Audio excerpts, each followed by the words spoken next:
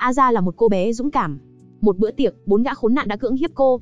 Sau ba ngày hôn mê, chuyện đầu tiên cô bé làm sau khi tỉnh lại là ra tòa làm chứng, tường thuật lại toàn bộ quá trình tàn nhẫn đó. Nguyên nhân khiến cô bé gặp phải chuyện đáng sợ này là vì cô bé đã báo cáo với giáo viên, Depki. Cậu nam sinh Mohit đã gửi hình biến thái cho mình trên lớp. Trong lúc tức giận, Depki đã quăng điện thoại của cậu ta đi. Cậu ta lòng mang oán giận nên mới giở trò báo thù. Sau khi xảy ra chuyện Depki lập tức chạy đến bệnh viện. Thật ra bà là mẹ kế của Aza. Bà hoảng sợ nhìn thấy Aza nằm trên giường bệnh, chỉ còn hơi thở mong manh, xuất huyết trong nặng, không thể tự ăn uống, chỉ có thể dựa vào truyền dịch để cung cấp dinh dưỡng. Không lâu sau, cuối cùng cô bé cũng đã khôi phục ý thức. Decky bưng trà rót nước, đút từng muỗng cơm, nhưng cô bé không ăn gì, cho đến khi cha cô bé đến. Phòng tuyến trong lòng cô bé đã bị phá vỡ, cô bé bật khóc nức nở. Aza đã nói ra hung thủ hãm hại mình, gọi điện cho mẹ. Decky cũng hoảng hồn bà không ngờ chuyện này lại là do nam sinh trong lớp gây ra. Bà lập tức báo tin này cho cảnh sát. Cảnh sát tức giận, họ đến nhà kẻ tình nghi, bắt từng người về đồn nghiêm hình hỏi cung. Nhưng những kẻ tình ngay lập tức gọi luật sư đến. Đầu tiên luật sư yêu cầu có giám định pháp y, bởi vì hôm đó Aza có uống rượu, nên kết quả giám định cho biết trong máu cô bé có hàm lượng cồn. Điều này làm giảm mức độ đáng tin từ lời khai của cô bé. Đồng thời cô bé đã hôn mê suốt 3 ngày, trong người đã không thể tìm được dấu vết gì. Cuối cùng xe của những kẻ tình nghi đã bị rửa sạch sẽ. Trên xe không còn vết tích gây án. Phiên xử kéo dài suốt 37 ngày này, cuối cùng lấy ưu thế áp đảo, tuyên cáo những kẻ tình nghi vô tội. Cha aza rất tức giận cũng rất tuyệt vọng, càng làm họ suy sụp hơn là con gái họ sau khi biết kết quả xử án, tự nhốt mình trong phòng không chịu ra. Cha A ra đá cửa vào, nhìn thấy con gái mình đang co ro trong góc, ngây ngốc cầm con dao. Depki vội vàng ném con dao đi. Cô bé giật mình tỉnh lại, đột nhiên nhìn về phía Depki thất thanh la lên. Hóa ra cô bé cho rằng, vì Depki quẳng điện thoại của Mohit kia, nên mình mới bị cưỡng hiếp. Depki vô cùng buồn bã, bà vẫn luôn chờ mong cô bé sẽ tiếp nhận mình. Giờ ngược lại cô bé càng hận bà thêm, làm bà càng thêm đau đớn là Mohit dù là kẻ xâm hại con gái mình, nhưng vẫn có thể đi học bình thường, còn khiêu khích chào hỏi bà. Depki đã không cách nào đè nén cơn giận trong lòng. Bà lén lút đuổi theo cậu ta, đi theo mãi đến tận con đường vắng người. Bà đột nhiên tăng tốc, nhưng đột nhiên, một chiếc xe chở hàng đi đến. Sau khi lấy lại bình tĩnh, bà quyết định đổi cách khác, để loại trừ hết những kẻ khốn kiếp đó ra khỏi thế giới. Bà tìm tới thám tử, điều tra tư liệu cá nhân của bốn tên hung thủ. Người đầu tiên là Babu. Mỗi ngày gã ta đều sẽ đến quan bà uống rượu, cho đến tận sáng mới rời đi. Nửa đêm hôm đó, Babu đang say bí tỉ nhìn thấy một người phụ nữ xinh đẹp đang quyến rũ mình. Anh ta vội vàng chạy qua, vừa lên xem ôm lấy cô gái, thì một người túm lấy anh ta từ đằng sau, rồi trùm kín mặt anh ta lại.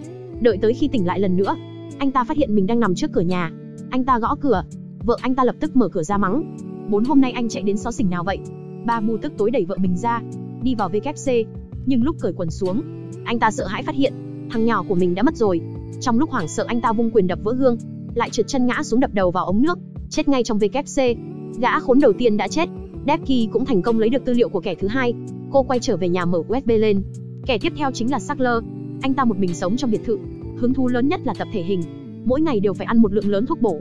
Người đàn ông ở trần nửa người này vừa tập thể hình xong, lập tức uống nước bổ sung khoảng. Đột nhiên hai mắt mông lung, nằm ngã ra đất miệng co rút, cuối cùng ói ra bọt trắng rồi ngất xỉu.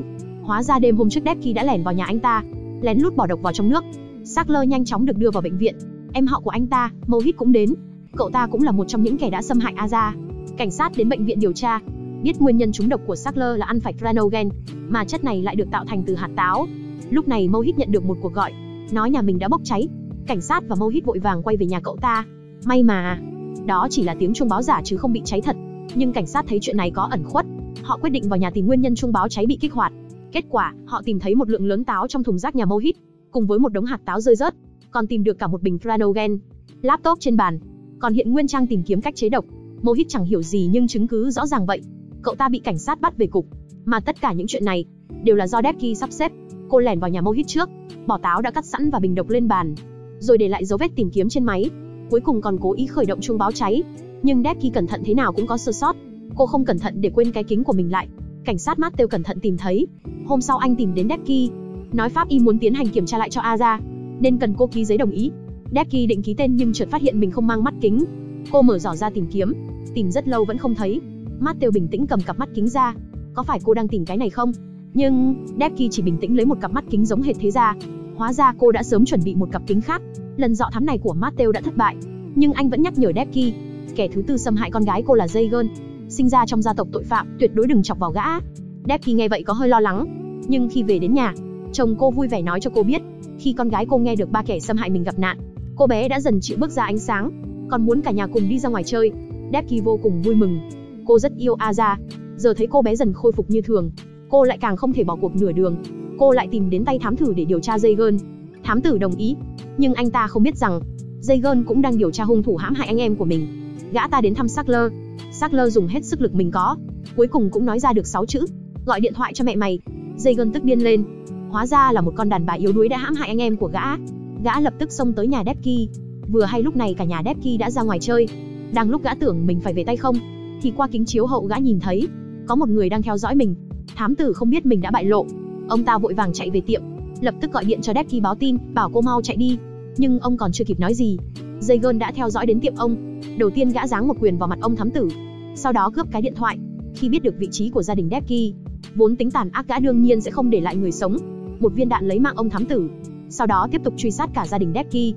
Sau khi nhận được báo án cảnh sát lập tức đến hiện trường, anh cầm một món di vật của thám tử lên, là một cặp kính, bên trong còn giấu một thẻ nhớ. Hóa ra mắt kính của thám tử kỳ thật là một camera. Nhờ vậy Matteo biết được đầu đuôi mọi việc, càng biết cả nhà Depki đang gặp nguy hiểm. Anh nhất định phải đi cứu cả nhà Depki.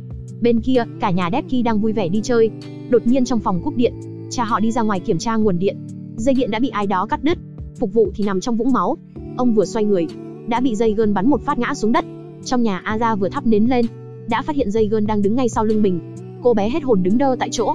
Deki chạy vò, vừa thấy dây gơn, cô đã trực tiếp xông vào liều mạng, bảo Aza mau chạy đi. Gã đàn ông đẩy Deki ngã xuống rồi túm lấy tóc cô, đập thật mặt xuống đất, lại dùng một cái bao ni lông trùm kín đầu cô lại. Deki nghẹt thở ngất xỉu. Tiếp đó dây gơn quay đi đuổi giết Aza. Nhưng lúc này sức mạnh của người mẹ muốn bảo vệ con đã đánh thức Deki. Cô điên vội vàng chạy ra ngoài tìm Aza. Không ngờ, dây gơn ẩn nấp sẵn từ sau lưng giáng cho cô một gậy. Ngay sau đó gã rút súng ra định kết liễu Depki, lại đột nhiên bị bắn trúng. Là Matteo đã đến. Dây bị khống chế. Cùng lúc này Depki nhặt được khẩu súng của gã. Matteo vội vàng khuyên cô bỏ súng xuống, nói cô không thể dùng tư hình không thì cô sẽ bị bắt. Depki do dư, mặt cô hiện lên vẻ đau khổ. Nếu pháp luật có tác dụng sao cô phải đi tới nước này? Nếu kẻ xấu thật sự có thể nhận được trừng phạt đáng có, thì sao con gái cô lại rơi vào nước này? Jaeger thấy cô đau khổ, mỉm cười khinh bỉ. Nụ cười này đã triệt để chọc giận Matteo. Anh đã đổi ý, anh chậm rãi giao cây súng cho Decky. Dây gơn hoảng sợ, nhưng Decky vẫn cứ chần chừ mãi không bắn. Lúc này Aza đang núp sau thân cây bước ra, cô bé đã nghe được chân tướng. Hóa ra tất cả những chuyện này đều là Decky đang giúp cô báo thù. Cô bé bước ra ngoài chậm rãi nói ra một chữ, mẹ. Decky nghe được sắc mặt thay đổi. Đây là lần đầu tiên Aza gọi cô là mẹ. Một tiếng mẹ đã này hoàn toàn kích phát nỗi bi phẫn và tình mẹ trong lòng Decky. Cho dù bị đày xuống 18 tầng địa ngục, cô cũng không thể tha cho tên tội phạm này. Mà bây giờ Aza cuối cùng đã tiếp nhận người mẹ kế này của mình. Họ hôn lên má nhau, ôm chặt lấy nhau. Khi pháp luật không thể trừng phạt tội phạm, vậy tình yêu nhất định sẽ lộ ra răng nanh của mình. Anh bảo này. Mẹ ở dưới quê gọi điện lên cho anh, bảo là vợ chồng mình về thăm mẹ. Lại về quê á? Ừ. Lần trước nghỉ lễ mình đã về rồi mà. Khổ quá thì bây giờ ấy, nhà mình có việc gì đâu, về quê chơi với mẹ cho vui. Chẳng có gì vui cả. Điều hòa thì không có, mạng mẽ cũng không, mà đi vệ sinh thì phải tít ở đằng sau vườn. Mỗi lần buồn, chỉ sợ bị mũi đốt thôi. Anh ơi Chết rồi Hai vạch rồi Làm thế nào bây giờ Ôi dồi cái gì đấy, Nhìn thế này giật cả mình. Hai vạch à?